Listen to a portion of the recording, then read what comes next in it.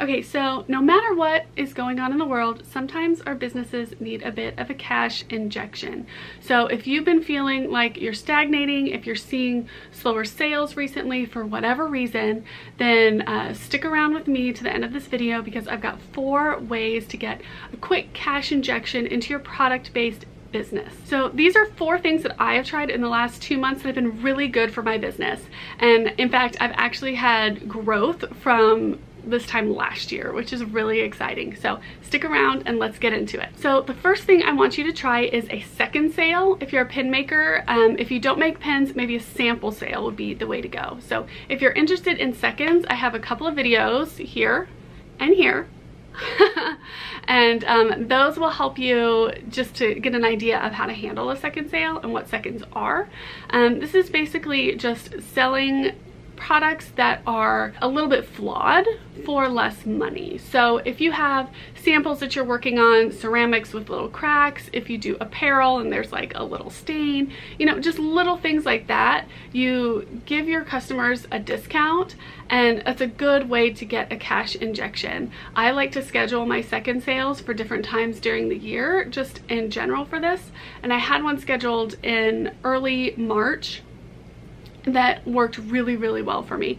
And I, I closed it down. I usually only have it up for a limited time but once everything started going crazy I decided to just leave my seconds up and it's been a really nice steady drip of income. And I just constantly remind people on Instagram like don't forget I have seconds up for sale you know they're there until they're gone that kind of thing. And that's been really really good for my business. So if you want to learn more about seconds check out those videos and um, give it a shot in your business. I'd love to know in the comments if you have had second sales or sample sales before in your business um, I think they're really really great Okay, number two is a mystery box. So I just tried this out. Um, I've done kind of in-person mystery boxes or lucky dip boxes before just with pins. So I'll have like a little pillow box with three pins in it. And I did those um, over the holiday season and those are really good. Um, especially at Blue Genie in Austin, which is like my favorite show. but just recently, I have a mystery box. Uh, I just have a handful left. They went really fast. I was not expecting it. So I had a t-shirt in here. I had some A grade pins, B grade pins, stickers, earrings, all that kind of stuff.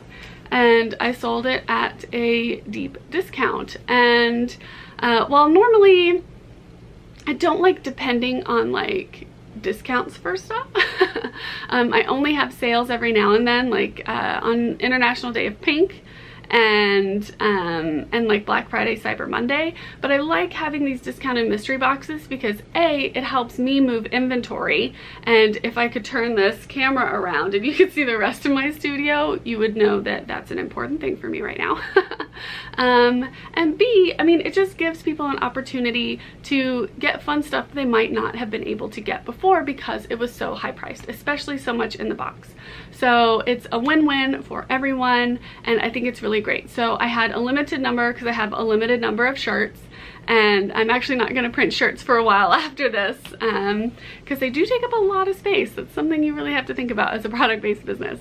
But um, that has been a really great surprise for me and a really good cash injection uh, for the business. Okay, the third thing I want to talk about is doing a collab with another maker. So I have a video about collabs. You can check that out there.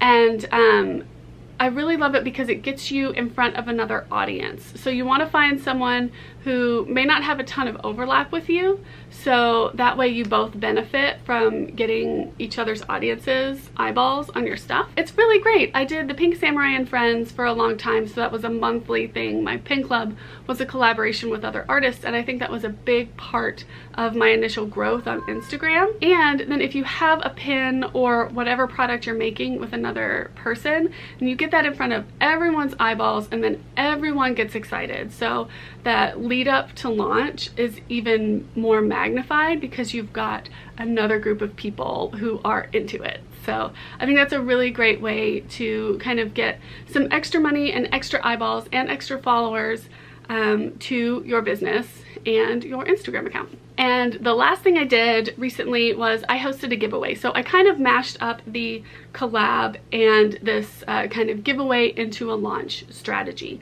So this was really good. I partnered with my friend Stacy Martin Tattoos. I'll show you, here's one of hers. This isn't, she actually did another collab with Lux Cups Creative. So see, we've got all of these things going all at once.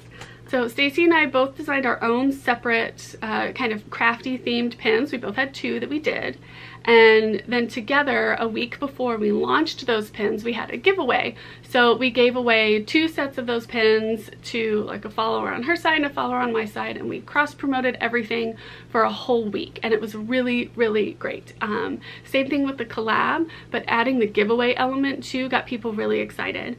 And then making sure we had our giveaway winners announced before the launch.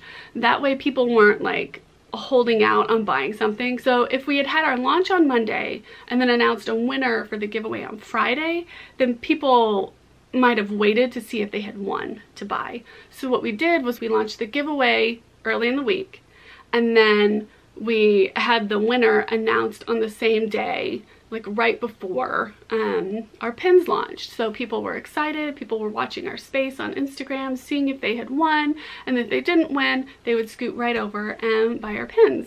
So it worked out really well. So those are four promos and kind of levers that you can pull to get a quick cash injection in your product-based business. Um, you can do this at any time of the year. You can spread these out and use them.